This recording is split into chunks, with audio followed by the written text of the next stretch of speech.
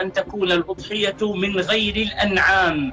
والأنعام هي الإبل يعني الجمال والبقر ويدخل في البقر الجاموس والضأن والماعز وباقي غير هذه الأشياء لا يصح أن يكون أضحية لأن هذه فقط تسمى أنعاما.